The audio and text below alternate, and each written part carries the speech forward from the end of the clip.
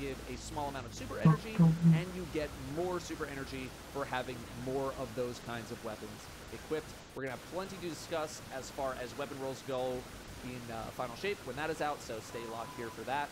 Next, we have elemental charge mods being significantly discounted. Usually, the cost of mods isn't the That main limitation in build crafting. It, it tends to be how many mods you can equip. I'm sure this is still going to make some kind of an impact somewhere, though. Saints Inspiration. Rounds loaded by the Cast No Shadows origin trait can overflow the magazine. Overflowing the magazine of a weapon For dual flaw, very, does it have to be a full clear? powerful effect, as we've seen. Yeah. Depending on the weapon, you know, it's not as impactful on like an auto rifle compared to a rocket launcher or a GL or something like that. Since Um, it's so impossible to full clear. King's Fall duo. Essentially makes any weapons with dealer's choice have Firefly built in, it looks like. At least the explosion. Um, with more weapons being equipped, increasing the size of this explosion. Bungie really trying to make people use these weapons next season. Uh, more super energy, bigger explosions. All right, we'll see. So, now we're going to move into the third column. We're getting a little more juiced, a little more uh, heftier mods, starting with Elemental Siphon. Rapid kills with a kinetic weapon or a weapon matching your super's element. Create an elemental pickup that matches your super. I think this might be kind of a sleeper mod, a sleeper pick. There are multiple fragments that deal with elemental pickups for Prismatic or just like any subclass in general. And as I covered, I think Prismatic has an insane amount of potential. This is going to be another way to speed your way to Transcendence activations. So it would not surprise me if something like this maybe reads a little bit boring, but ends up being actually quite, quite good in uh, selection. Next, we got Overload Sword. We kind of covered that. It's also overcharged when that modifier is active. There's It's a couple more going- sword perks that we're going to be talking about as well. Top left. Creeping Chill, stasis weapon final blows against slowed or frozen targets. Release a burst that slows. This just sounds like incandescent, but for stasis, which sounds pretty nice to me. Sounds pretty interesting. It maybe wouldn't even surprise me if this could potentially become a perk sometime in the Mhm. future. Like, just you know, we have incandescent. This is basically incandescent. Am I wrong? Am I crazy? This seems pretty good, you know. And we are getting a bit of uh, I don't want to say stasis rework, but some things in stasis are you know, being brought up to more of like a 3.0 level as opposed to like a, you know, a 2.47 level that they might be at right now. So I'm, I'm gonna keep eyes. I'm gonna keep eyes. Press the advantage. Breaking a combatant's shield gives a bunch of stats: weapon stability, handling, reload speed, swords gain increased target distance. Uh, for PvE, I'm feeling like this is kind of kind of a non-factor, kind of, kind of like a a, whole. Alright, uh, no, he's not. He's pretty fast. He's so been pretty fast on this one, I guess. really crazy. I don't see this getting a ton of attention uh, for PvE, so I think we're just going to keep moving on. Threaded Blast is coming back, destroying a tangled a strand weapon creates a larger and more damaging explosion. I enjoyed the perk with this round, and Better Devil's returning as a strand weapon. You have a shiny new strand primary weapon to play around with. So uh, this will not be terribly difficult to activate if you want to build. Next, column four, counter energy. When you or a member of your fire team stuns a champion, you gain energy for your least charged ability. I think the energy needs to be pretty substantial for me to care about this, but my guess is that it'll be a decent amount at the least. It wouldn't surprise me if this was something where uh, it on. give you a full recharge on an ability. I can see this maybe getting out of hand a little bit in endgame content. It's not like champions are literally everywhere, um, but they're common enough in certain endgame pieces of content that uh, this, it, has, it has some potential. But I also think there's a lot of other things here that might push this out of the line. Next up, we have Blade Stamina, rapidly hop defeating combatants with a sword refunds some ammo. Uh, pretty much a lock if you're using a sword in almost any amount, but without more information. It just sounds like Relentless Strikes, but a little bit weaker because it kills. It all depends on the ammo refund. But, you know, if, you're using a sword, you're probably picking up all the sword mods. And if you're not, then you're not. Like that that's just kind of what it is. Yeah, tireless. Next up, we have three mods that all deal with uh, doing something to get some sort of a subclass effect. Void Hegemony, you have a Alright, it's gonna be, subclass equipped, defeating Uh, bottom left. Can you kill the knight? I can't. I'm torn. He's in the middle. Two, maybe not the stone cold lock of the century of the week that Void is really looking for. I think Overshield's in PvE. Not really the most exciting, not really the most powerful of the subclass Got it. I'm open to being surprised. However, we go to then Radiant Orbs. It's coming back. Picking up an Orb of Power makes you Radiant if you have Solar or Prismatic equipped. Not quite the ridiculousness of the old version, which had Doing no bombs, right? restriction at all, but still an insanely strong effect for what amounts to very style. little work compared to its void counterpart. Next, we Mm. have Galvanic Armor, uh, and this is the arc version Ending.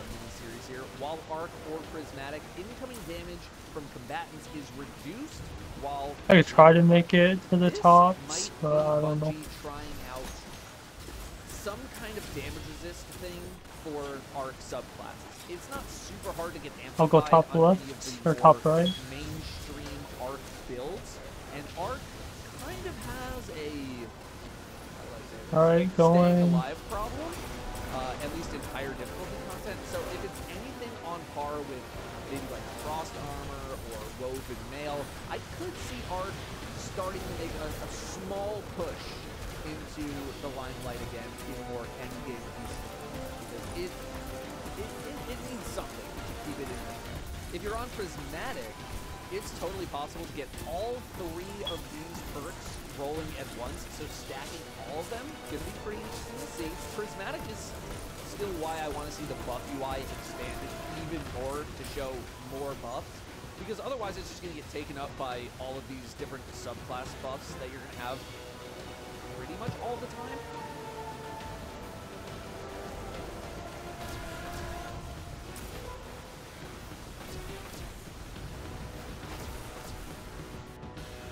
Hunter doing.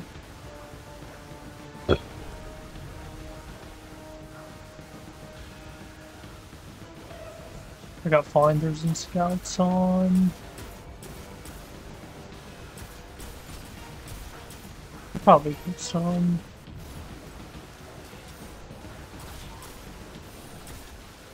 There's a brick over here in the back right, I don't know if that's scouted or not.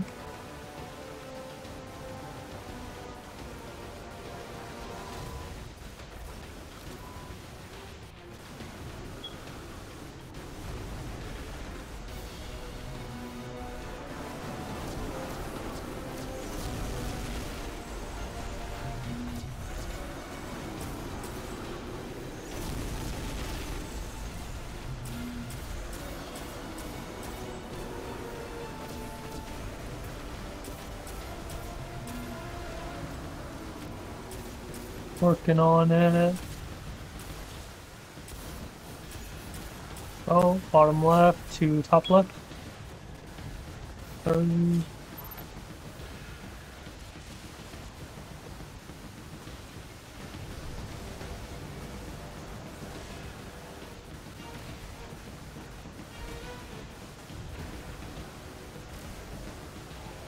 Gotta be quick. Where's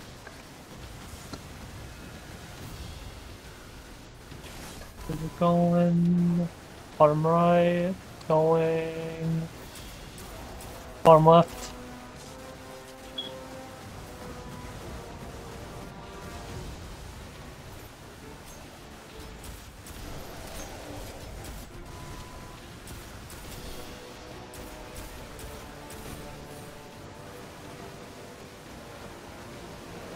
Why the fuck?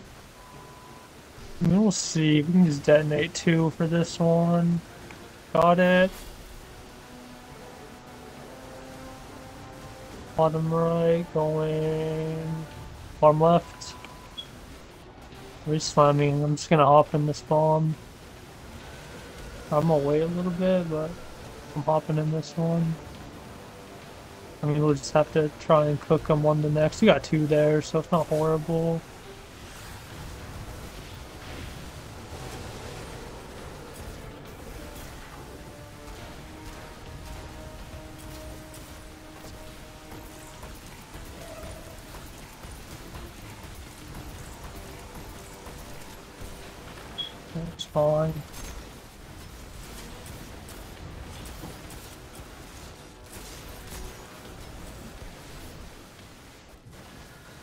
Is it shade?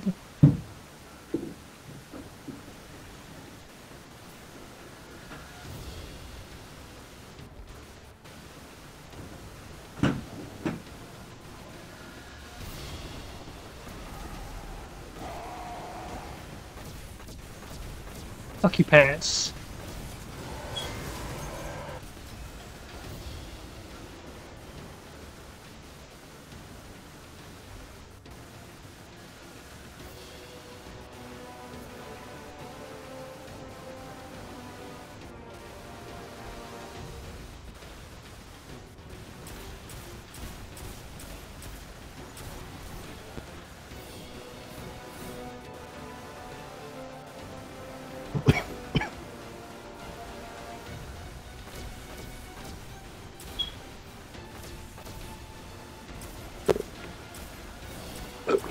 Good. Got a lot from here.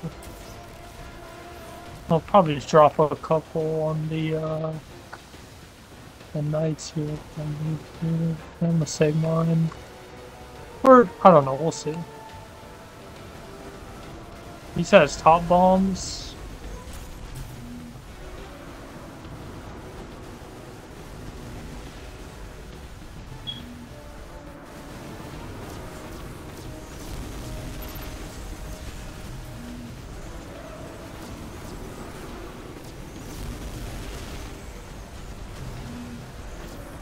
Got it. Start whenever. To your side.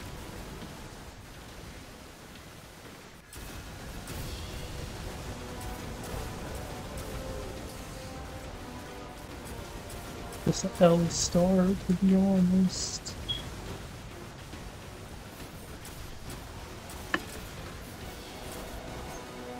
Got it. Uh,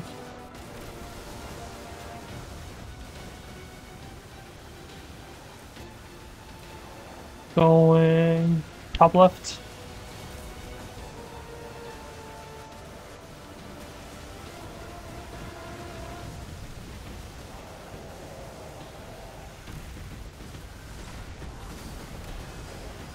Going bottom right.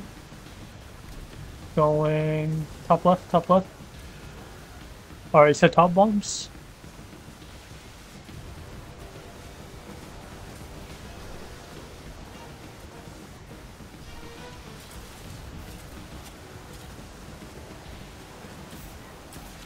Top left.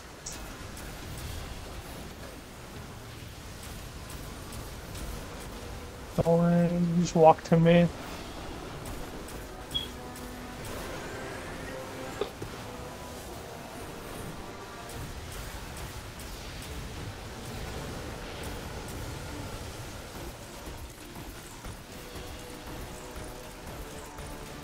I mean, we have four bombs, so no need to use any extra. Alright, I'm see if I can get my uh, MBS here.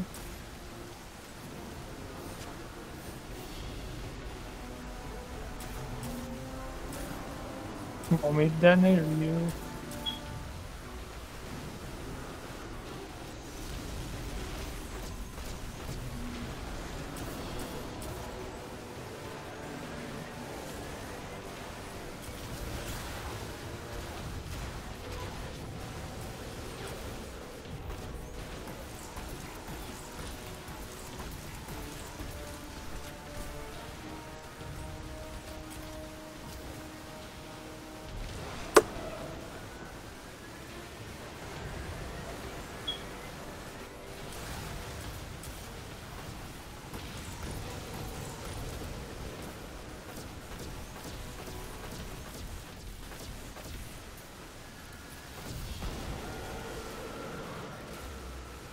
Not too hard.